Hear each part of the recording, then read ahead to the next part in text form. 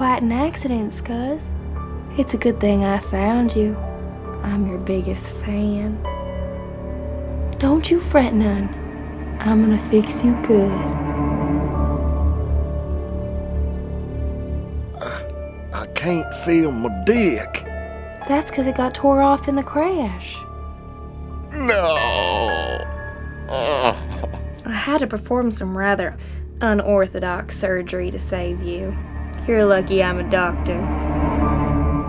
What have you done? I made you better. Well, all right.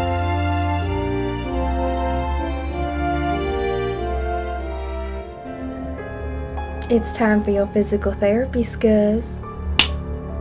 Giddy up.